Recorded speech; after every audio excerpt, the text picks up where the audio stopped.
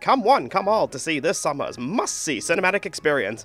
Grab your popcorn and soda pop to enjoy this magical musical adventure straight from the distant lands of the Far East.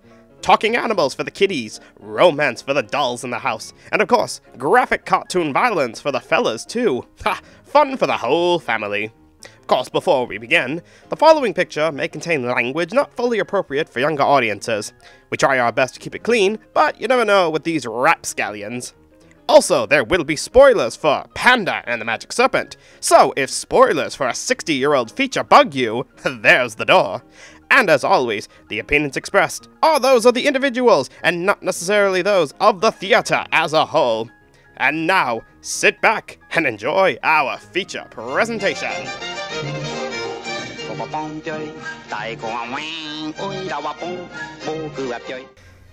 Hello, one and all, and welcome to Dub Talk, the premier anime podcast where we talk about dubs new and old, good and bad.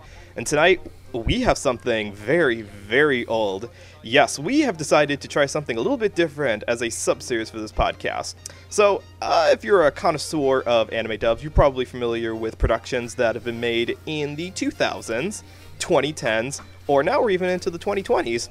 But I got a couple of my buddies here, and we have decided we're tired of covering just those stuff here because there's so much more wonderful, forgotten, old material out there in the world of anime dubbing that nobody remembers. And we've decided to finally take a look at that. So, we are kicking off a brand new subseries called Dub Talk Retro. That's right. We have decided that the, for this subseries, we are only covering dubs for things that are so old that none of us were even born when the material it was dubbed actually came out. God help us all.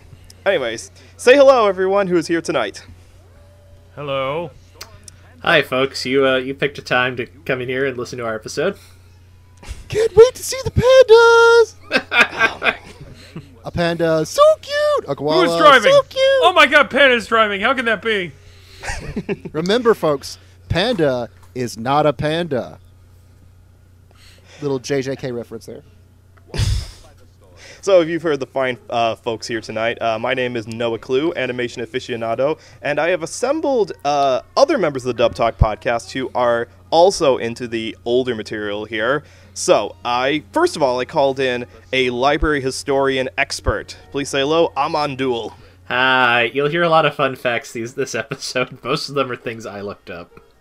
That he was, and he was a big help on this because uh, where do you even look up stuff like this? The great the great thing about old dubs is that no one who worked on them is alive by and large, and no one cared to write anything about even- them at the that's time. Not true.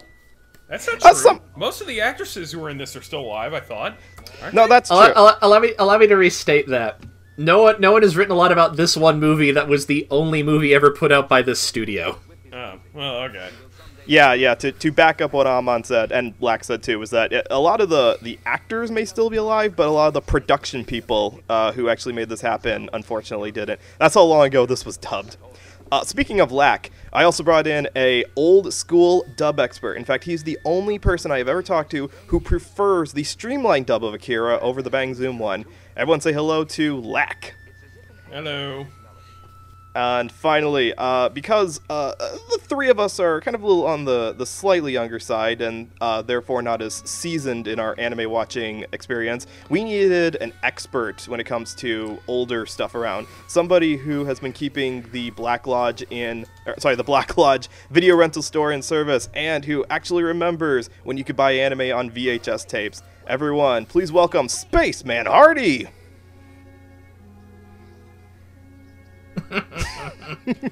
There's some wrestling in this too. For the record, I actually do prefer the Animaze Geneon dub for Akira, but that's just There's nothing wrong with that. I mean, Yeah. I, I, I gotta be honest. I haven't watched the uh, the streamlined version of Akira, so I, I don't know how it actually holds up to the Bang Zoom one. I have nothing against the people in that dub. I just actually do prefer the 2001 dub. Okay, fair enough. I, I'm sorry. I'm, I think I uh, misremembered uh, our Q and A we did a while ago. Yeah, it's fine. It's fine.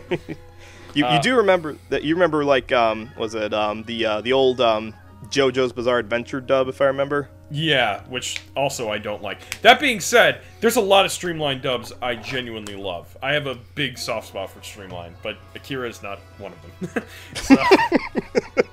Maybe we'll get to those in a later episode. Yeah. But anyways, so yeah, we've decided to kick things off with what is arguably the very first anime dub ever produced, uh, the very first English dub of a Japanese animated production. This is Hakujaden, or as it was, uh, which Hakujaden translates to uh, "Tale of the White Serpent," which is a, a very famous Chinese folktale. So you would think that uh, the English-speaking audience would uh, recognize it by that name. Uh, no. when this movie came out in uh, the early '60s, uh, American distributors decided, yeah, White Snake. That yeah, that's uh, nobody's gonna remember that. Let's change the name. Let's instead call it Panda and the Magic Serpent. Brilliant marketing decision right there. They, they they they like the snake part, but they wanted a cute, marketable animal to put on the poster. And since presumably no one in America who wasn't already from somewhere in East Asia knew what a red panda was, they went with the other panda. I mean, they could have saved themselves the problem by just calling it pandas and the White Serpent, I guess. But you know, But that that's not a panda. That's clearly a, a, a cat, as you can tell. I mean, look at the ears. right? I realize now that I neglected to actually give a plot synopsis of this movie when we started this. So I, I will go ahead and do that right now. So in case you want to know what this movie's about. Okay, so uh, like we said, Panda and the Magic Serpent is uh, based on the Chinese folktale of the White Serpent, which is essentially about a uh, mythical white snake who uh, transforms into a woman and falls in love with a scholar named uh, Xu Zhang. And their uh, interactions are considered kind of taboo, and so they are uh, foisted in their romantic relationships by a monk named Fa He, who uh, has superpowers of his own essentially, and tries to keep them apart. Uh, doing that by sending the guy to prison essentially, or to a, a endeavored work camp from the looks of it, because he does get money for it. Um, and he's only helped in his uh, uh, escape from this lifestyle by his sidekicks, Panda and Mimi. Uh, Panda, of course, being a panda bear, and Mimi being credited as a cat in the American dub, even though anyone who's been alive for the last 20 years could probably look at it and say, hey, that's a red panda. And you are correct. That is indeed a red panda. So there, and uh, in the end, uh, true love conquers all. But yeah, th- so um, yeah, we're going to talk about this, and um, we're going to change up our format for doing this a little bit because not only did I make these three gentlemen suffer through the film, and we'll talk about why it's suffering in a little bit. Uh, It wasn't that also- bad, but you know, Not not how you choose to usually spend a Friday night, right? yeah. Yeah. What are you talking about? This is my life. So uh, what we're gonna do is, um, uh, you, those of you out there uh, probably have heard of this movie if you're uh, much of a connoisseur of like the classics of Toei animation, because this was actually the very first Toei full-color animated feature film. Uh, they were basically founded in 1956, started doing some television work, and then they decided we want to get want to foray into the theatrical animated film market, and so this is the film that they made. So not only is this a, a first in terms of anime dubs, it's also a first in terms of Japanese animation, and we're kind of fortunate that it was also uh, very quickly ported over to America with a uh, questionable dub results. But we'll we'll talk about that and debate it back and forth a little bit. I mean, I was gonna say this probably didn't do very well, right? Because it's not like it's considered a classic of American cinema or anything. It certainly it certainly doesn't have the the prestige that a Miyazaki film does. Un- No, No. it doesn't. un- not- unclear. Um, a lot of people point to um, to Astro Boy as like the very first uh, anime thing that was in America. That came a couple years after this. Uh, that was like 1964, I believe, on NBC. So you know, not only uh, did it get a lot more exposure, but you know, a lot more people remember it still even today. So yeah, you're right. By comparison, uh, Panda and the Magic Serpent didn't quite get the uh, the long-term recognition. It's certainly not a household name in uh, Western otaku spheres. Yeah, and Mi- Mighty Atom Astro Boy lend itself to American audiences way better than this did. So yeah, which is o- it's just odd because it's it's such a poor animated production. what Astro Boy? Oh God, yes. Well, yeah. you- I you're- mean- I, I, re- I remember seeing an episode of that very late on late on Adult Swim, and one of the fight scenes is just a bunch of still images. This is getting a little off topic, but have you guys watched any of Gigantor? It's on Amazon Prime. Oh, A little bit. It's so funny because like there's literally a character named Dick Strong in it. It's great. um, But ta- talking about how well this movie's received, I actually tried to look up and see if there's any like uh, box office or reviews for this. Um, this is kind of limited by what I could find online. I Any Letterboxd reviews? no, I want stuff from like when it came out, basically. yeah. Um, and that's the thing. I could find there were two other anime movies that came out this same summer in '61, and I could find stuff for them pretty consistently. This was impossible, probably because this was put out by like a no-name rinky-dink company that only ever put this out before unceremoniously collapsing. I guess.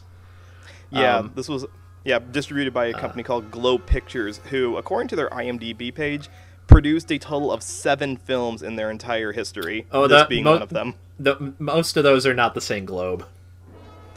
Oh, yeah. Oh, they're different ones. No, as far as far as I can tell, this particular company, this was the only thing they actually got finished and released. Curse you, Uh, IMDb.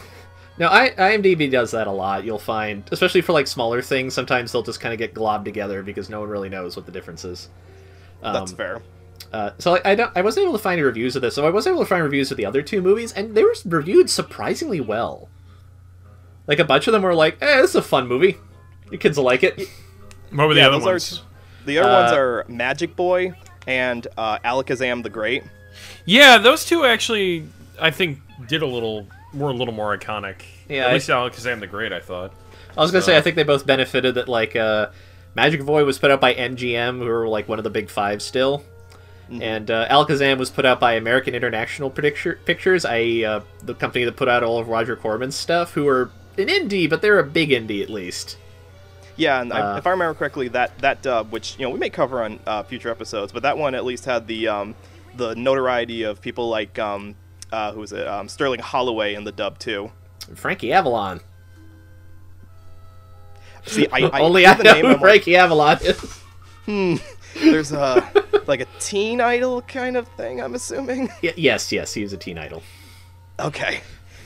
See, I, see, this is why I pulled these guys together, people. Like, I, I I love studying old animation stuff, but I, I've got blind spots, and these guys are way more knowledgeable at some of those than I am. He wasn't that guy with the weird hair in the MST3K episode, was he? Frankie Avalon, the the guy in like Caveman or something like that. That doesn't narrow it down. I Okay. wait, wait, no, hold on. I have a tangent. So that's Arch Hall Jr. That's it. Yeah, that's so who that here, is. so Okay. here, here's the thing. Here's the thing. Globe only ever put this out, but apparently prior to getting released, they were attached to a low-budget crime drama called The Choppers. You want to know who stars in The Choppers? Arnold Schwarzenegger. No, Arch Hall Jr.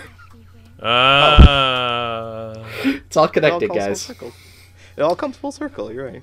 Anyways, But anyways, um, let's talk. let's talk about the actual movies more. So yeah, um, thank you, um, um, on for covering a lot of the background information. So like we said, um, small group, uh, small company put the dub for this together, um, and this was. Uh, it's not like they went out of their way to try to find it. Uh, Japan was really trying to make uh, movies that could compete with Disney specifically in the animated global box office sphere. So that's not only why this movie was able to find an American distributor, but they were also their style was very Disney-like, and, and anyone who's seen any parts of this movie will know that this looks like a Disney feature. It's animated on the ones. It's fully color. The cartoon animals get way more screen time than the humans do, and so because of that, uh, it's really interesting to talk about the people who put this together. So rather than doing segments like we normally do on this podcast, I'm just going to rattle off all of the ADR staff and the main actors of it, and from there we will go ahead and talk about it a little bit. So, and uh, you guys, of course, feel free to jump in on anything that you've got to add. I know Amon, you've got uh, lots of points on some of the different actors here, and if anyone out there listening has like a, oh, I know that name, when a name is popped up, then you are a very seasoned weeb, and um, you are you are one of us. You belong in our group. so, um, ADR director. Okay. Uh, the the actual directing for this was done by a gentleman named Robert Tafur.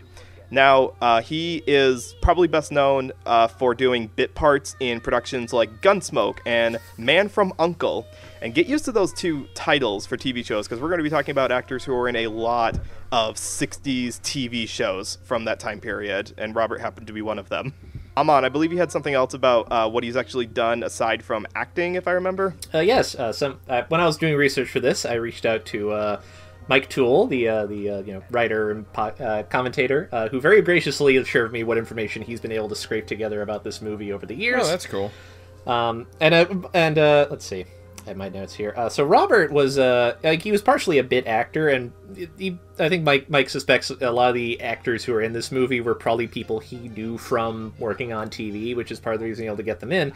But also something he did is he would uh, dub foreign language films in the '60s. Uh, I wasn't able to find a lot of credits for them. I suspect because once you're talking about movies that old, you're very much at the mercy of like what survived, what's been written up on the internet, and so on and so on. Poorly documented, yeah. Yeah, or, or like if it is documented, it's all in like old encyclopedias that like you know if your if your local library has it, you can go read it. But if you don't have physical access to it, like, sorry. Um, although I was able to find a movie that's uh, actually streaming online called Meta Brazil, which he apparently did, directed the uh, English dub for. So like they are they are out there if you at least know where to look for them. Okay. So, so yeah, that's the guy who did the ADR direction. And uh, talking about people who uh, he was also in connection with, um, he did have a couple of people do the script writing for this. Uh, those gentlemen were named Alvin Schonseit and Ben Pivar. Um, both of which uh, I actually could not find very much information for. Uh, again, I'm going to pass this over to Amon because he had some interesting information about how the two knew each other. Yeah. Uh, so uh, of the two of them, Piv- Pivar is probably the more notable one. He had previously been a producer for Universal, doing like the 30s and 40s. Uh, if you look at a lot of their like B movie and horror stuff, his name pops up a lot as like scriptwriter or producer and stuff like that. now, Um, when you say like 30s and 40s monster movie, are we talking about like um, uh, Abbott and Costello meet the Mummy kind of era? around around them, but not those movies. More more like the str- like you know non non non intentionally comedic horror movies that uh, Universal were still making around that time.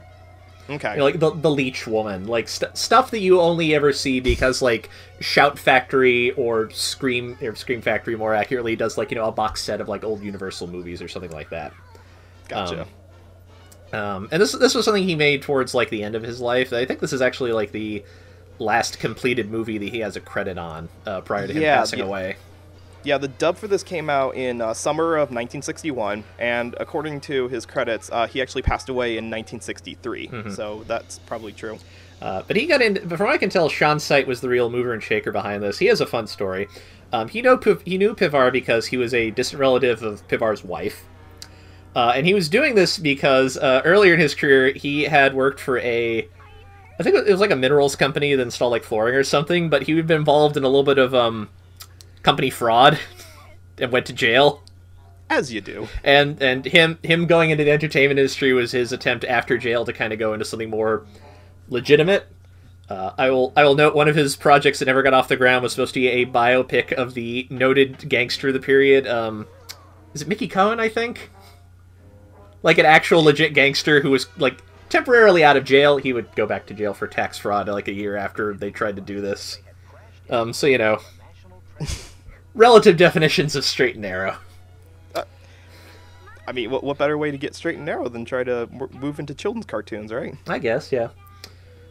Uh, yeah, but sure this, yeah, but this this was this was you know Globe Releasing was their company, and it, this was supposed to be like you know the start of a you know a, a long running institution or what have you. And then as far as I can tell, this is the only thing they made that actually like got released. So, Mhm. yeah, So, so, so let that be a fa- uh, knowledge to you people. You, you want to, uh, you know, start up your own fly-by-night company. Uh, don't let anyone tell you that you can't. You'll never fail until you try. But we can't have that story unless we actually have our male, our, we have our human characters. So our lead male, Shu Sein, is voiced by one George Matsui. Um, and to give points to Lac here, uh, this is indeed one of the actors who uh, was born in 1943 and, to my knowledge, is still alive today. So yeah, some of the actors so- are still going. I'm sorry, what's that? According to Wikipedia, so you know, That- Which, of course, is a very reliable source. yeah. I don't know why they wouldn't tell the truth on that, but um, anyways, so uh, yeah, so that's uh, George Matsui, and uh, where have you heard of him before? Um, well, we talked about how we, uh, a lot of the actors here did bit parts in uh, television from the time period. So if you've seen stuff like The Time Tunnel, The FBI, or I Spy, you may have seen George in those things. In those things. Again, you're probably a bit nerdier than the rest of us are. Um, his biggest uh, actual credit, though, was uh, directing a movie called Fanny Hill Meets uh, Lady Chatterley from uh, 1967. Oh dear lord, are you serious? Oh, yes. Yeah, I'm sorry. Have you heard that before? Oh. Uh, those are porn novels from the 1800s. Ah, gotcha. Well, What, Lady Chatterley? Yeah, and uh, what was Yeah, Fanny, yeah. Fanny Hill? Yeah, yeah, Oh yeah, Fanny Hill too. Yeah. yeah. you got to Oh, start dear. somewhere. Okay, uh, let, us move on to someone who's a little more respectable, I guess. Um, our uh, white serpent, who is named uh, Ban Nang, is uh, voiced by Lisa Lu, who is also uh, still alive. She was born in 1927, so she's coming up on her 100th birthday. And I know a lot of you have Congrats. definitely seen her before. Because um, the, the thing that you've probably seen her in is a most recent thing, which is the movie Crazy Rich Asians, where she plays the character of Shang Su Yi. Um, I know a No lot- kidding. yeah, I really? know. That's Yes, awesome. I know Yeah. she's still going strong, and she had a. If- if- she had a I'm sorry, she had a very long career in uh, not just uh, acting, but in also uh, Chinese opera. Um, let's see. Uh, uh, probably the other thing that you may have heard, seen her in is, um, aside from bit parts and things like Have Gun, Will Travel, and Bonanza, uh, she was also in the Academy Award-winning movie The Last Emperor as uh, Empress Dowager. So, yeah, she, she's been around for quite a bit. Huh. If you if you've seen Crazy Rich Asians are trying to place her, she is the uh, grandmother of the male lead. Right. And um, I think uh, she, she's also. Um, what, what did you say, Amon? She had. Uh, she has um, recognition for both the Film Actors Academy and. No, it's that it's that she is the she's the apparently she's the only person who is a member of both the Hollywood Foreign Press Association, which is the group that runs the Golden Globes, mm-hmm. and the Academy Academy of Motion Pictures Arts and Sciences, which is the company that runs the Oscars. I did not know that you. That it was hard to be part of both of those. I think part of it's that the Hollywood Foreign Press Association is kind of a scam. Ah. So not something. I, I, I, I come from the part of film Twitter that has opinions about the Golden Globes, none of which are very nice. Let's say. I mean, Why would you I have mean, opinions about the Golden Globes? oh. I mean, Mm-hmm. aren't the Golden Globes and Oscars basically just one big scam, anyways? I, I think it's that the Oscars try the Oscars try to be an actual legitimate awards association, and the Golden Globes is a way for the members of the Hollywood Foreign Press Association to drink with celebrities Yeah, yeah. and get paid money. I, I don't blame him for that. I, if I was in that position, I'd want to do the same thing. That's true. So okay, so I, I mean, I'm not going to hold that against Lucy Liu. Uh, No, she's no, no. actually she's done quite a bit more Lucy than Liu? as well. Lucy Liu. Lisa Lu. Not. I haven't even. Wow, anything Lucy drink. Liu's She looks Lucy great Liu's for her age. ma- Holy shit. her makeup artist is amazing. God damn you guys. damn it. Fine. You know what? I'm going to have a lot less to say about uh, the next two characters to talk about because, uh, the, uh, as opposed to uh, George and Lisa, not as much in the credits for these two. So, uh, for voicing the panda and Mimi the red panda, we have uh, two actors by the name of Fernando Tejada and Virginia Blackman. I could not find anything else that either of these two have done. This is, to my knowledge, the only screen credits that either of them have. And if you've seen the movie, uh, which we will talk about in a bit, that's probably a reason why they only have these two credits to their name. Oof. Gonna try to be very nice, but it's not gonna be easy. So, um, the uh, the other now we have an antagonist, of course. We have the monk Fa He, who is voiced by a name that you may actually know, uh, Mel Wells. And I, if I say uh, you may know him, you may only know him for uh, playing the original florist owner Gravis Mushnick in The Little Shop of Horrors. Not the musical version with M- Rick Moranis, but the original 1960 film that actually inspired the musical. Uh, he plays the again. He plays a shop owner for that. Um, or if you're on the weebier side of things and you remember a little show called Spectre Man, uh, everyone raise your hand if you've heard of Spectre Man. feel like I have. Uh, you can't see it, but I am raising my hand. Okay, well, so yeah, it's kind of a like a it was a uh, live action Japanese series that got imported over into America. Um, and despite the fact that it was only from the 60s, unlike Power Rangers, uh, it was actually broadcast on American television not long after its Japanese run. In the 70s, it was kind of a big thing on American television. Uh, the reason I bring this up is because Mel Wells was actually a writer and actor in that dub. So he's actually had experience with uh, adapting Japanese media into American media since this movie came out. Now, um, our uh, titular White Serpent also has a uh, lady in waiting. Uh, she has a little girl who's uh, turns. She used to be a fish. I was trying to think of a nice way to say this, but she used to be a fish. Now she's a little girl because this is a movie where all of the animals turn into humans, apparently. Um, now, Jai Quinn is actually voiced by Miko Taka, and that's uh, again. we- We've also had two other uh, Asian Americans in this dub already, and uh, Miko is a third, and kind of a prominent one too, because um, before this movie came out, she was prominently featured as Hana-ogi in the Marlon Brando movie Sayonara. She was also Yeah, I Yeah. saw that. yeah, yeah, that was a, and again, that's a, kind of a high bar to start your acting out on. Um, you may have also seen her, if you're a big Bob Hope fan, and I assume all of you are, she played the character of Fumiko in the Bob Hope film A Global Affair, and she, uh, let's see here, uh, her final role was in 1982 uh, in The Challenge as Yoshida's wife. But uh, despite the fact that that was many years ago, she is still alive. So she just retired.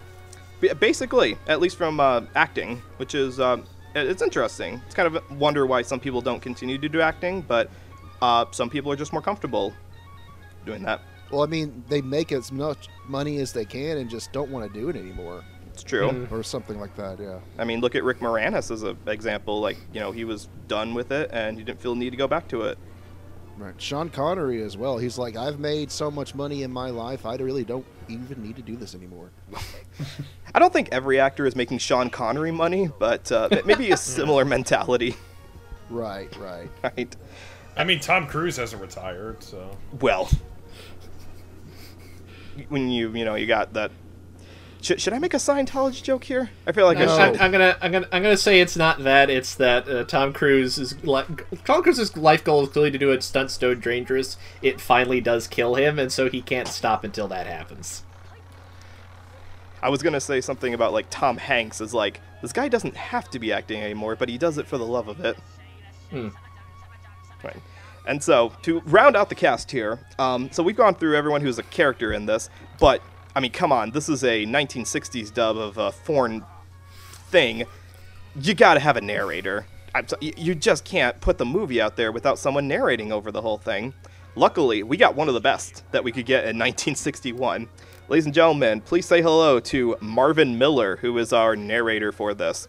And honestly, I think that is the most prominent name in this entire cast because he has been in a lot of stuff, both uh, screen and behind the voice, especially behind the voice. Um, if you watch the original Filmation version of the Superman cartoon, he played Aquaman in that. Uh, if you, Ah, nice. Yes. Um, if you uh, are a big fan of UPA animation and you remember their short Gerald McBoing Boing, he played the narrator in that, which essentially meant he played all the characters because that was a cartoon Right. where uh, one guy voices everything. Yeah, the whole the whole point was is there was no voice acting in it. Yes, that's correct. Um, UPA is very respectable. Y'all people need to watch more UPA animation, as well as you need to watch the the 1956 movie Forbidden Planet, which is a very Right. well-renowned science fiction movie. The reason I bring that up is because Marvin also plays Robbie the robot in that movie. Nice. Woo, Robbie. And it was, of course, Leslie Nielsen before he did started doing comedies. So I remember very little of that film. All I remember was I got buy one get one free boneless wings from Thursday at uh, at uh, Buffalo Wild Wings while I was watching it. I think that says a lot more about you than it does the movie, Hardy. I just want to. I'm surprised, Hardy. You, d- you don't remember them uh, making like a you don't remember them making a million pounds of bourbon in that movie? I've watched it in French, honestly. I I didn't even realize there was a dub until I checked the the, the wait, special wait, features. wait. Are you, are you, wait, are you, are you Wait, thinking of the French animated movie from the seventies? Forbidden Planet? No, No, this no, is a this no, is a no. science fiction movie from the fifties with No. Leslie Yeah, Nielsen oh. in it. Not Yeah, the you're French. thinking not of- the No, you're French thinking of animated movie with the Fantastic blue Planet. people. Fantastic Oh, that's Planet, right, that's it. right. Yeah. Oh my Yeah. god. No, for, Forbidden oh, Forbidden Oh man, Planet's a now different I, movie. now I wish Leslie Nielsen had been in Fantastic Planet. That would have been so surreal. I think we did, just found out the next movie we need to do on Dub Talk Retro. I am down for Fantastic Planet. I didn't even know that had an English dub, actually. Uh, it, Yeah, it- it's very stiff. it- it is. very stiff. That's a L- L- Roy Laloux is a very interesting director. Man, I could spend a whole hour talking about that guy. Thank you, Hardy, for the biggest laugh I'm going to get this whole episode. You mix up Fantastic Planet with Forbidden Planet. Wonderful. Yeah. And boneless wings. Everyone needs bones. So, like I was saying with uh, this uh, episode here, we're just gonna kind of go off the cuff here and talk about the overall dub because let's just go ahead and be honest straight up here. This is not a very good dub. A- Am I being controversial? It sucks. it's not. It doesn't suck. It's just it's uneven. It's it, okay. And also, to, this is a movie that the version that we watched is the same version that you're probably going to be able to find, which is a public domain version of the 60s original theatrical cut that has been reprinted on low quality film several times, so it does not look nearly as good as the animation should have. And that goes for the audio too. Like the audio is not that great either. It sounds like it was recorded with Gumby audio, and the voice acting goes with it. But Hardy, what do you? Was there anything you liked about this dub? I like the narrator. I think he was good. Um, and you can tell by Marvin Miller's performance that he's been doing this for a long time. Um, my, I guess one of my main issues also was that the narrator spoke a bit too much. It had a bit, a little bit more uh, sh- uh, telling than showing. Uh, but that also is kind of the movie's fault because there was a lot of, in my opinion, unnecessary scenes that really didn't belong in it. This movie's only 71 minutes long, and I easily feel like even then it could have been 20 minutes shorter. Easily. You want to know the sad Um, part? What is it? The version we saw isn't even the full film. They cut like seven minutes out of the original Japanese film. Oy vey. I know, right? Wow. It, it, it does not help that the picture quality is so bad that the thing that would probably benefit those scenes the most, the really nice animation, because you, you can you can kind of see through the grime, like it is nicely animated, um, but it's like like how much can you appreciate it when like the colors have been blasted out to almost like monochrome? Right. That's Uh, what, You, you know, you know why the narrator kind of works. Um, it's because this is a pure, unadulterated fairy tale. This is pure fairy tale, and it's like it, it's, It's like you're the- being told a story. Yes, exactly, and that's why a narrator actually kind of works in this sense, and because there's actually very little dialogue for the actual characters That's in the true. story. So and not only, and, and he also helps with um, uh, one of the parts where um, I didn't think I'd like this, but I didn't really mind it. Was um, all of the songs, all the original Japanese songs, are kept intact with Japanese lyrics. All, and there's one in particular uh, where the, the little girl Zhao Jing is singing, where the narrator is actually talking over it, but he's not like interrupting it. It's like he's interpreting the lyrics for the listener because they weren't going to go back and redub the song with an English speaker. Well, are you sure the song was all the songs were actually in Japanese? Because some of that sounded like Chinese, like No. Cantonese. yeah, I think some. There was some dialogue in Chinese, at least. Uh, there was I, I, Well- I, I know that the one where the panda is bouncing on the drums, that sounds very Cantonese to me. I'm, I'm not a Uh, language expert, right. but it, it sounded more Chinese than Japanese. But that's just That's me. true.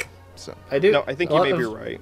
Well, I, do- I think Noah's correct. Well, it, it's correct in that they clearly left in the original songs, and something I I realized while watching this, and I was I was able to dig up a uh, a copy of the Japanese version to compare. There's chunks of the Japanese audio track just left in here unchanged. There are. I oh noticed that too, like this, you know, the the- sword dancer. Yeah, exactly. Well, there's one part I was listening here, and I'm like, did, did they just hire a bunch of white people to yell like East Asian-y sounding nonsense over this? And I looked it up, and it's like, no, this is the Nope. same sound. They just left.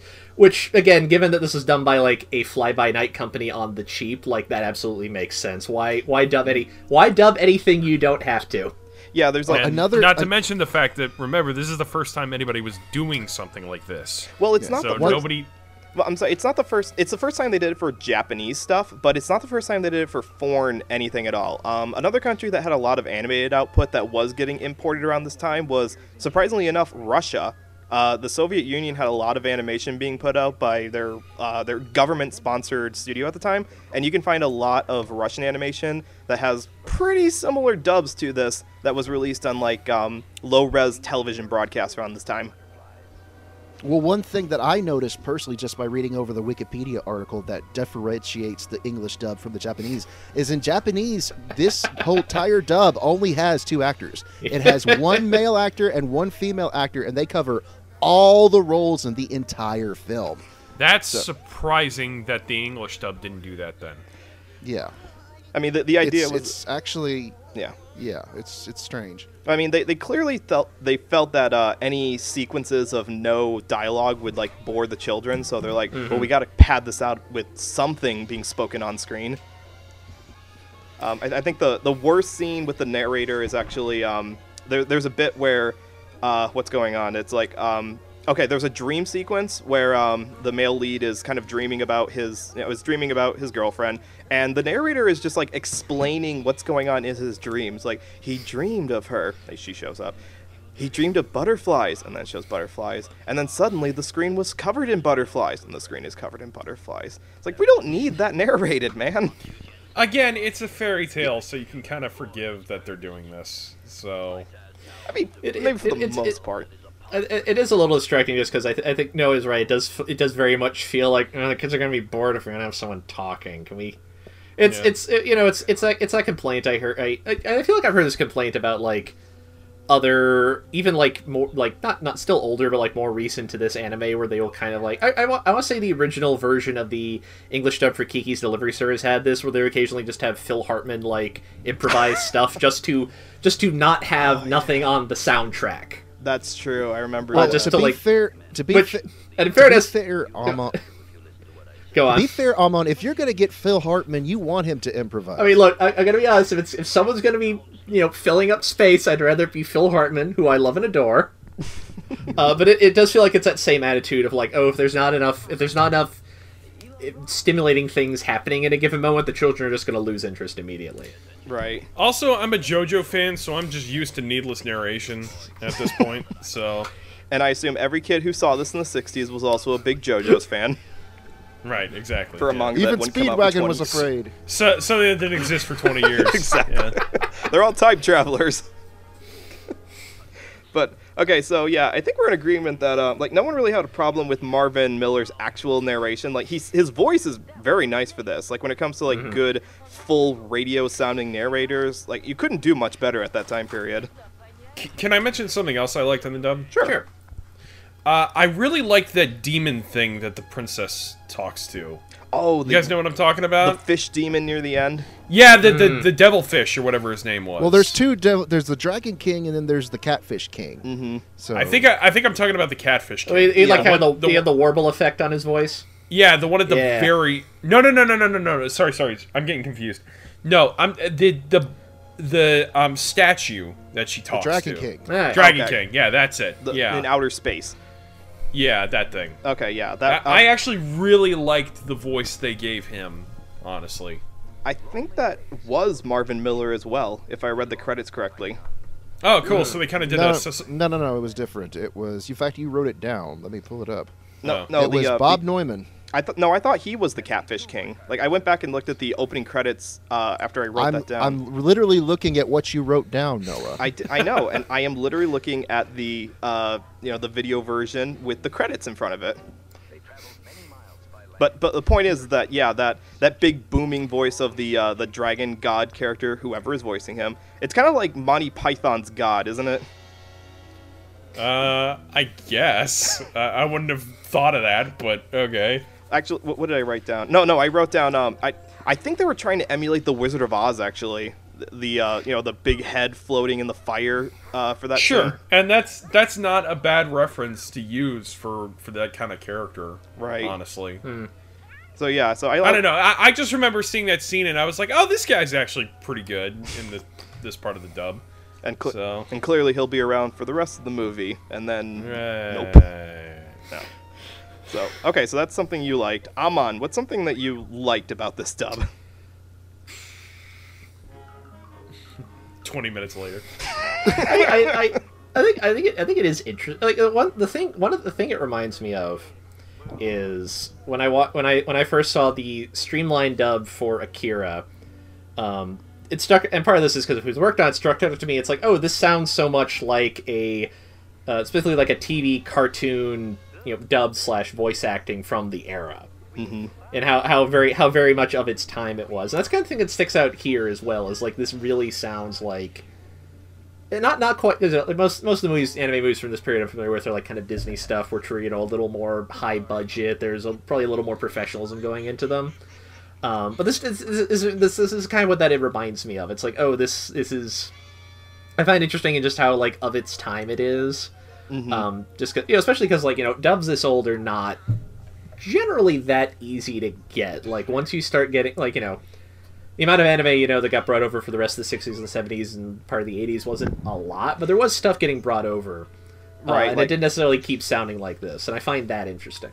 Like, what was the um the redub of uh, Gatchaman called? It was like Battle of the Planets or something like that. yeah, battle. There were yeah, like three of those. Yeah, which which you know, from from the little I've heard, like sounds very much like you know a '70s cartoon. Right. Uh, so you like you, so I, I find this interesting just because it sounds like yeah, because like- it had like Casey Kasem in it and all that kind of stuff. Yeah. So Uh, so I, I, yeah, I do. I kind this is one of these this is one of these things where like in this version at least I find this very interesting as like a historical artifact is kind of like, uh, you know, this is you know, you know the you know the, the first animated you know one of the first animated to really get brought over here, um, and I also find this interesting in contrast with like the bits I've seen with um, I haven't seen any Magic Boy, but I've seen a little bit of Alakazam the Great, and it's interesting kind of seeing like, here's an anime dubbed by a company with a lot of money. Here's an anime dubbed by a company with some money. Here's an anime dubbed by a company with no money. None. That was negative money. Shoestrings and lint. Pretty much. I, I, I found I found I found a blog who like uh, had written up like every animation news item from Variety from the first half of 1961, and they mentioned that like Marvin Miller had been signed by this company to just do any general s- any general narration they needed to have, like trailers, shows, whatever. Just like he had been hired to do that. Uh, So he's and not, like you can, Speaking to a microphone. yeah, basically. It was No. basically it's like, oh, you're you're you're a voice actor of talent. Let's get as much out of you as we can. and get out of him they did. That's probably why they slathered his narration all over the movie. We, we've mean, only got the other actors for a couple minutes, but we got Marvin I, all week. I, I don't. Let's, I mean, it's like there's not a lot of dialogue in this movie. It's not very talky. They're, no, they're not. You're right. There's not, which is probably a good. Uh, let, us move over to actually talking about uh, the two leads at least. Let's talk about George and Lisa because I know that they're the acting on them is not the best because they don't have a lot of dialogue to work with. But I do think that, um, like, I could see them being actors in like a Hanna Barbera cartoon from that same time period. Like, they, they could easily be bit parts on Ruff and Reddy or uh, Rocky and Bullwinkle. So I, I give George and Lisa a little bit of credit on that, especially because uh, this was probably material that was completely foreign to them at the time. I, again, I, I know they were Asian Americans, but I don't know how steeped in knowledge of stuff like the White Serpent they would have had for the time period. Uh, I think Lisa might have had more, just because she also did Chinese opera. But um, yeah, I, I don't think it's that bad. There are worse actors in this dub than uh, George and Lisa. Yeah, mo- most of the humans sound fine, at least. Um, they're not necessarily given a lot to work with, but I think like you know George and Lisa and Miko at least I think sound fine. Mm-hmm. Mel, And well, it's not a it's not a very deep story. No. I mean for one thing. What are you talking about? It, it's about a man falling in love with a snake. That that's super deep. That's very progressive. For nineteen emotional. Actually, on on the subject of progression, I will say it is kind of interesting that they decided to get like Asian actors to be in this dub. Yeah, that's true. Like Yeah, that um, was something that, that was something that stuck out to me too, because like you know this is, this is 1961. They're not going to usually spend a lot of time worrying about like you know representation or something like that. But I, I guess in the in the minds of the people dubbing this, they were just kind of like, well, they're Asian. Let's get Asians to play it. You know? I mean, this is like a couple. Uh, how, I don't know how many years later it was, but um, uh, not too long after guess- this, Hanna Barbera would put out the show, uh, The Amazing Chan and the Chan Clan, which is uh, noted as. Yeah. I, I'm sure many of you saw Boomerang, saw that show. Um, but they didn't have any Asian Americans in the cast, to my knowledge. Well, to be fair, Charlie Chan was rarely ever played by an actual. Asian I know he wasn't. So, couldn't even. but I guess they probably would have called them Orientals at the time or something. But I don't know. Uh, uh, but yeah, no, I I do think it's interesting. I do think it's really interesting, especially in the state of the way dubs are now, to see a dub like the one of the first, if the first Japanese dub, actually try to get like Japanese and Asian actors to be in it. It's it's something you really wouldn't think that they would have bothered doing because they didn't do it for Astro Boy. No, and they didn't do it for um, Alakazam or Magic Boy, to my knowledge. Or Speed Racer or anything like that. Or, no, they, no, because they, they were definitely trying to um, to scrub the uh, the Japanese influence off of those uh, TV shows. Yeah, and most dubbing companies wouldn't want to spend the money to try something that hard these days. So, You're right. Um, and it was also um, and now when I first saw this, because I saw this about a year ago. For the unless of course time. it's like Great Pretender, obviously. I haven't seen that yet. I still got to get around to that. yeah, I was the only one here who was on the Great Pretender episode, right? I think think, so. so. Oh, okay, yeah. I- I'm way behind in my backlog, as you can tell by the fact that I'm watching movies from 1961.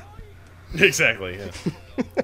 I'm sorry, um, uh, Hardy. Did you have any um, thoughts on uh, our human characters specifically?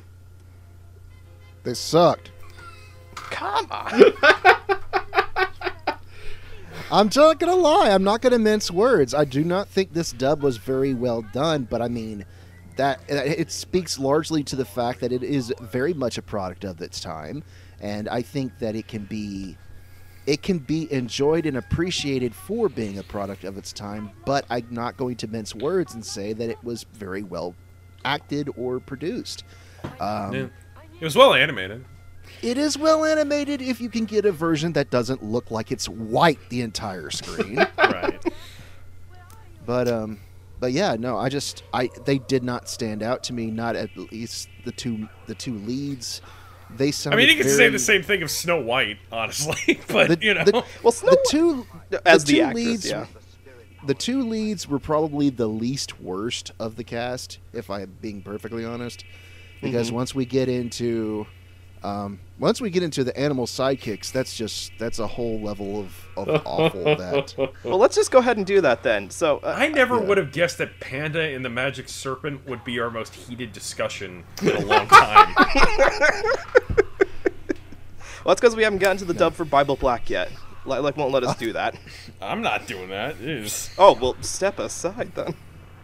Yes. Step aside, Sonny. Speaking of bad voice acting, um, yeah, uh, Panda and Mimi are uh, probably the actors that are not going to be the most, uh, not going to be anyone's favorite. Um, now, uh, like I was saying before, Fernando and Virginia had not done anything else since or before this, to my knowledge, and that may be because their acting is not really good in this. I'm sorry, it, it's really okay. Panda's got this like low monotone, does not match that character design Uh, voice. yeah, that was. I remember the first time I heard Panda's voice, and I was just like, "That's the voice they're going for." Okay, And then you He con- basically just mumbles his entire dialogue. He's like, he's Brian "Okay, let's- Griffin, basically. Okay, let's go. it doesn't match. Yeah, it doesn't match at all. It, it this is like really stilted acting, and Hey, Peter, we gotta go save the princess.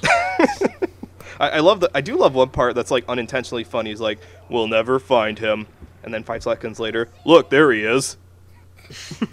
oh yeah, I think I remember that too. I remember laughing at that. So, So we got that, and then we contrast that with Virginia's Mimi, which is ear-splittingly chirpy, like the highest that a human could get to. It is the most Pokemon-ish voice of the entire movie. She doesn't even really have a whole lot of actual spoken dialogue. Most of it's just high pitched animal noises.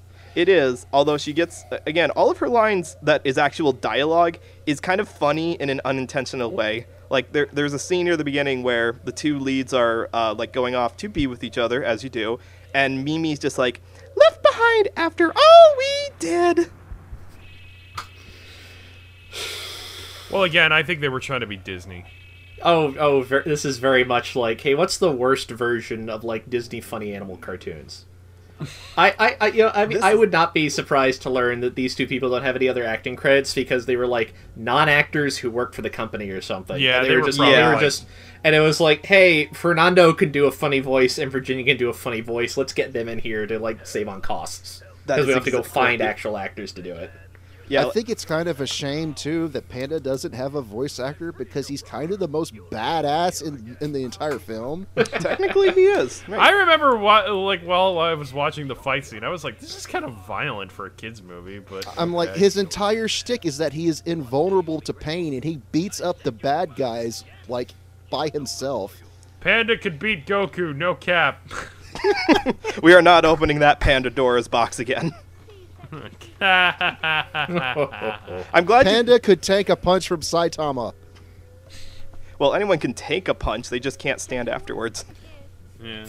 I'm glad that you brought up the uh, the violence portion of it, Lac, because um, I consulted a couple of books while researching this. Uh, one of them was Anime Classics Zettai 100 Must See Anime by Brian Camp, and uh, he listed this movie as one of them.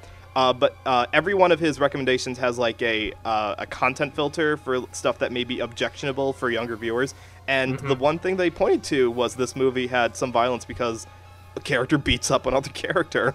Yeah, it's really, it's really like not like censored at all. Like, I guess there's no blood or anything, but still. No, it kind of reminds me of a Popeye fight. It's yeah, it is. It's yeah. a Popeye versus Bluto interaction. So that uh, uh, that defines those characters. Um, again, I, I'm not entirely sure why they felt the need to. Well, I, I do know why they gave them those kind of voices. They they wanted them to be cartoony sounding, and they just Right. just like let's just go the extremes. One will be flat, low, monotone. The other will be high, chirpy Pokemon. And the, the best excuse you could give for a lot of the weird decisions in this dub is just that they didn't know how to do it yet. I, mean, I, th- I, th- I think part of it's also. Do you want to know the time frame of this movie? Of this movie getting dubbed and released? Was it like a month? Well, according to well, according to Variety, the the company that like got the distribution rights from Toei, then sold them to Globe Data International. They give it. There's a listing of Variety of them offering this in March 14th, 1961. The movie premiered in June. That's insane. This is this is three months from. In three months, they sold the movie to this company and then dubbed and released it. In That is three like months. that is like Robin Wow. Thicke's Paula turnaround speed. Yeah. So and unfortunately, I think you can kind of see that uh, they did they did not necessarily have the qualifications or money to have something with that quick a turnaround and also be like good. It's probably it's, it's surprising then that they got um like for all the bad parts in here that Marvin Miller's turned out so well 'cause he's just that good. You know, he could just knock out the lines one after another. He's the kind of guy who could probably read a phone book and, and make it sound. Oh, oh heck Awesome. yeah! I, coming soon to uh, to ASMR. Marvin Miller reads the phone book. um, so yeah, so uh, no no real positive things to say about Panda and Mimi on their voice ends of it. Um, but again, we're just we're kind of chalking that up to it's not good, but it's kind of just a product of the time.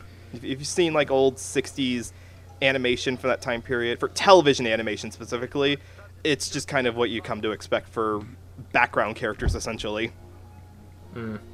Um, now, f- uh, kind of finishing this off here, um, I do want to talk about uh, the other two. Well, one of them's the human character of Fei Ha, and the uh, the fish girl, uh, Zhao Jing. I, I'm sorry, I know I'm mispronouncing these. I don't speak Mandarin. Um, but the reason I wanted to bring this Yeah, up, I know that S if it start if it starts with an X, it's pronounced sh. Yeah, she. Sha. Shucking, I believe. Right, I I'm got- not sure about that. I- I'm I not did- sure about the cues. I believe it's Jing, like a J sound. But I, I'm sure I will be corrected by our Chinese listeners in the comment section. Um, but um, uh, the thing I want to talk about is that uh, even though Mel Welles uh, is, uh, you know, he's best known for doing like B movie kind of stuff here, he sounds like he's having the most fun playing the bad guy in this.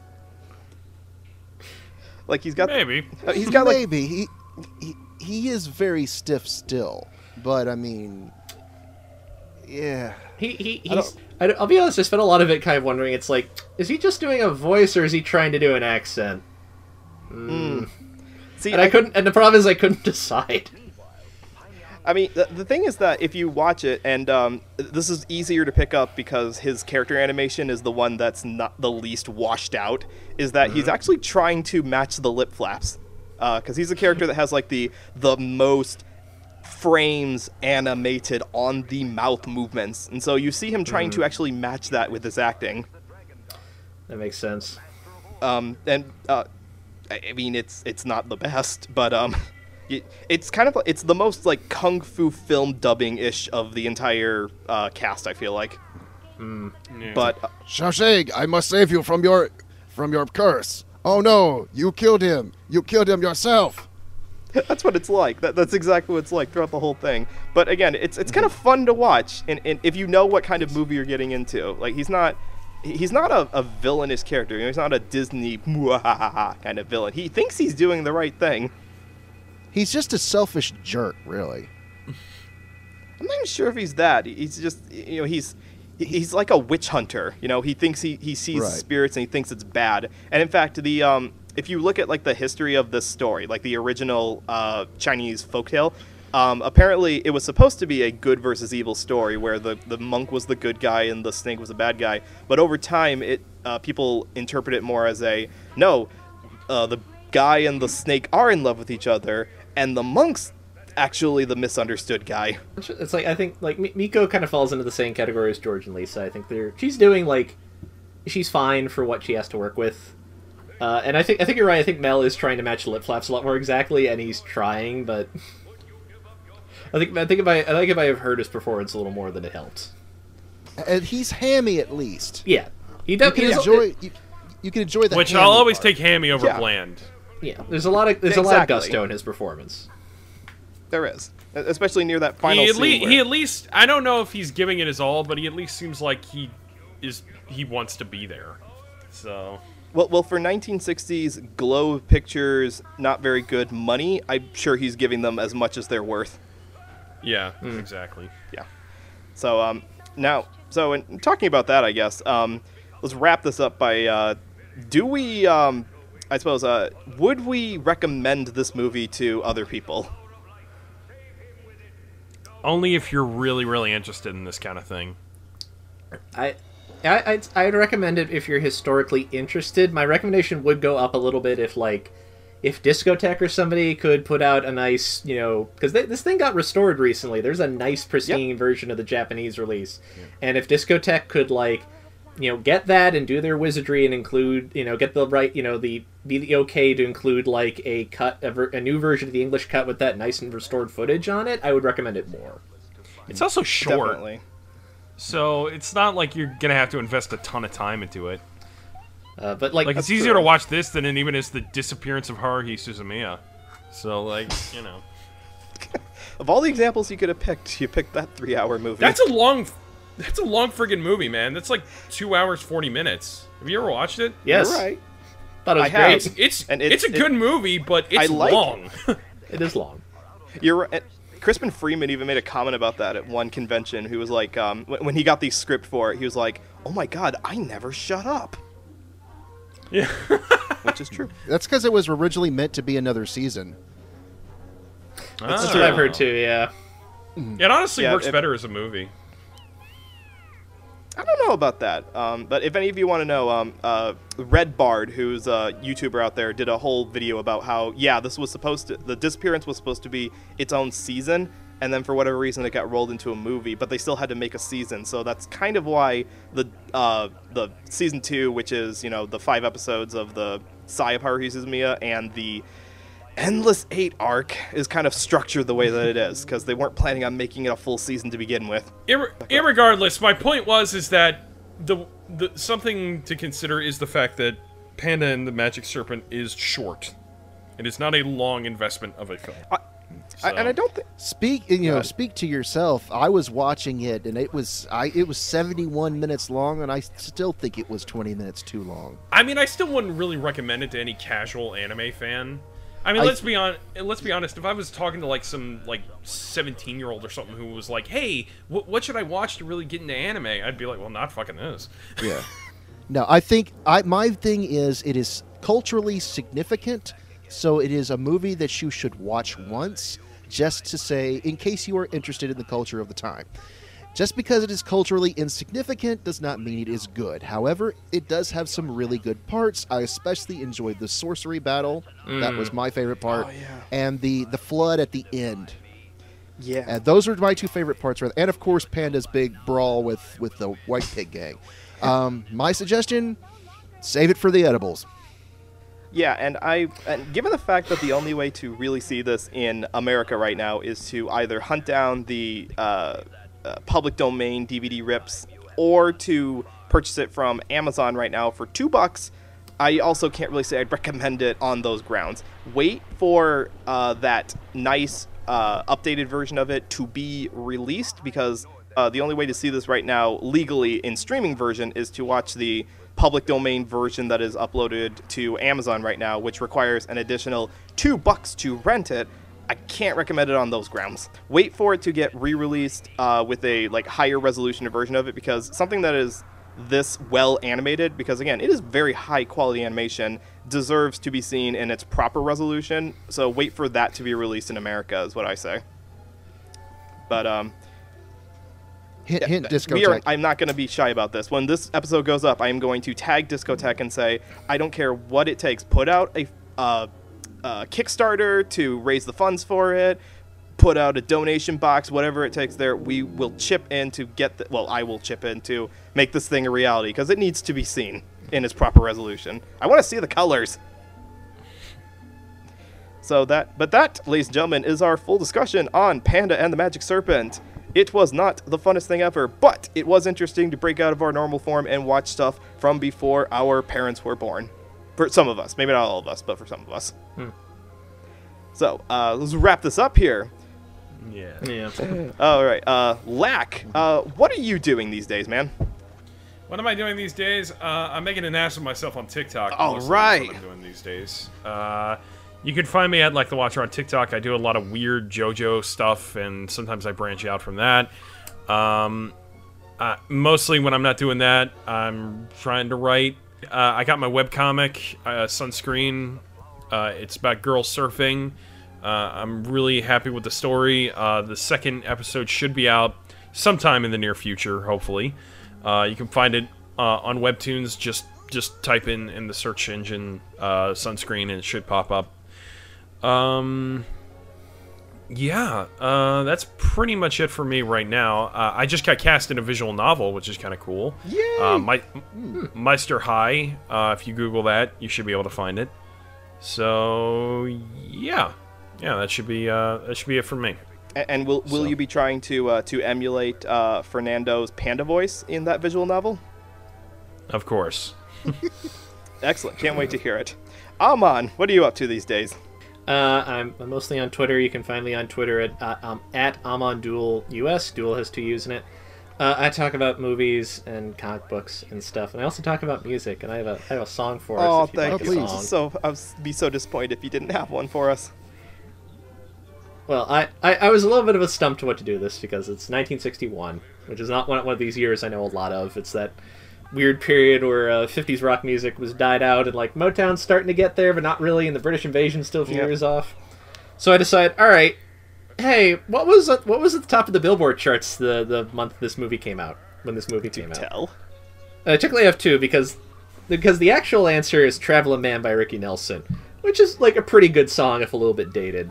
But the number one song the week before that was "Running Scared" by Roy Roy Orbison, which is an extremely good song that you should go listen to immediately. Well, I mean, it's Roy Orbison. It's great. It's Roy Orbison. What is not I know, an right? extremely good song? Do you, do you, do do you like it when Roy Orbison belts out huge sweeping ballads about love and loss? Then do we have a song for you? And I know some of us were running scared of this dub, so that is also fitting. Speaking of running scared of this dub, Hardy, what are you up to these days, man? Do you really want the true answer? Do I want the true? Of course I do. Because if it, if I don't like it, I can just cut it out of the final episode. Well, these days I sleep usually sleep 18 hours a day. Um, but no, I'm. Uh, you can find me on Twitter at Spaceman Hardy. I don't really have any sort of creative things like these other guys do. I mainly just retweet some uh, artwork and post goat pictures and say donkey pants and and that's just who I am. No, that's good. No, that, that that is living, man. That is the American dream right there. Living the dream, man. Hey, large three topping p- uh, pizza from Little Caesars, man. Gotta use that stimulus. T- I, I am going to take your your uh, tweet from that that post and put that right in the episode right here. All right, and um, my name is Noah Clue. You can follow me on Twitter at Noah Clue. Um, I also, like Hardy, am not really doing anything on the creative side these days, um, as well because I am working full time and have three children to take care of, who I post pictures of on Twitter. And I also use Twitter to uh, have long discussions about the new things I'm learning about from really old animation, like the fact that a lot of 1920s animation was just really cheaply made cartoons based on comic strips that the cartoon studio happened to own at the time. So do your research, people. Like uh, in this episode, where I learned a lot of information from the animated movie guide by Jerry Beck, and like I said, Anime Classics Zettai 100 Must See Anime by Brian Camp. So, like Amon was saying earlier, go to the library to do your research. You can learn a ton of stuff there. And we are the Dub Talk Podcast. You can follow us here on the Dub Talk Podcast on YouTube. As of this recording, we just passed 5,000 subscribers. Woohoo! Woohoo! Yay! Not sure what we're. Well, I do know what we're going to do to celebrate that, but uh, I, I'm going to try to talk Lilac into doing something else to celebrate too. But yes, thank you all for helping us to get there. And of course, a big, big part of that success comes directly from our patrons. We want to give a huge shout out to all the people who support us over on Patreon. want to give a huge shout out to our $5 patrons. That would be, of course, Megan's mom and dad. Thank you, Mr. and Mrs. Megan's mom. Thank you, Michelle Travis. Thank you, the Miraculous Core Zone. Thank you, Nico Robin, but with Yowie hands. Thank you, Sue Tweet. And thank you, Victor May Baroda. You guys are amazing. And also amazing. Big thanks to our $10 patrons on Patreon. These are the guys who put in a little extra money, get the episodes early, and help make all of this possible. Huge shout out to Carly Lesticow. Major thanks to Crimson Echidna. Thank you super to Jacob Wilson. Extra huge special thanks to J2, aka Jared. Big thanks to Julia W. Huge thanks to Marissa Lenti. And amazingly huge thanks to Otaku Anthony. Every one of you is absolutely awesome, and we really could not have gotten to 5,000 subscribers. We couldn't have gotten to anywhere without everyone's amazing support. And so, with that, um, any, guys, have any final thoughts on this movie and the the act of watching something that was really, really old for a change?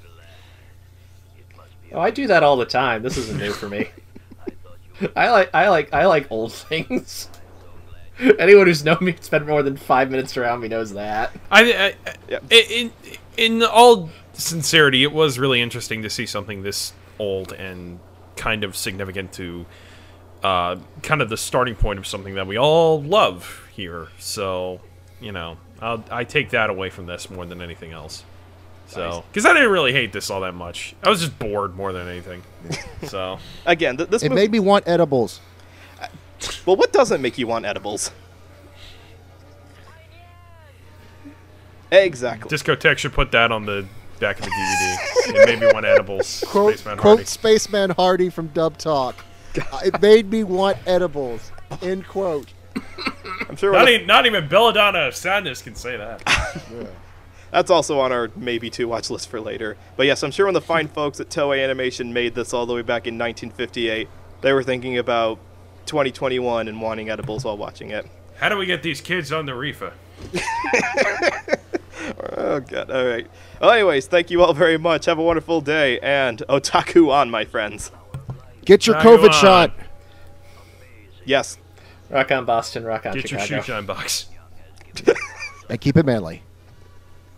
Did you really say get your shoe shine box? Yeah, it's from Goodfellas. I know what it's from. What does that have to do with this movie?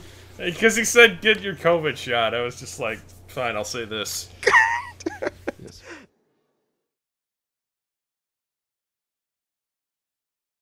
All right, so Hardy, what, what was that kind of beer that you had again? Coors Light. Okay, just uh, yeah, I'm not really much of a beer drinker, but you just go ahead and pass me uh, pass me a little bit of that. I I, I think I'm gonna need it for this episode. Here you go. Thank you. Oh yeah, that's good stuff. Oh Maybe my we God, should have can started on something different for the first episode of this, but No, well, if I we think, had a if we had a cast list for a thousand and one nights, well, there you go. oh well. that would be. I mean, I was Nobody like, nobody wants to admit like that. they were in that dub. That's the problem. So Well, I got one actor uh, who's actually in this cast, so that's one. But um, uh, yeah, we'd have to wait for the uh, see if uh, home video release for that movie had the cast list involved. I'm not sure if it did actually. I don't think it does. I asked. Uh, I think I asked Brainchild if it did, and she looked and she couldn't find one. So. Yeah, she's the only one I know has a copy right now. Um, But I have one. I'll, I'll look it through it and see if I can find it. okay. Right. Oh but yeah, I, I definitely want to do that for a later episode. Um, Yeah. This will just. I'm not gonna watch the it tonight.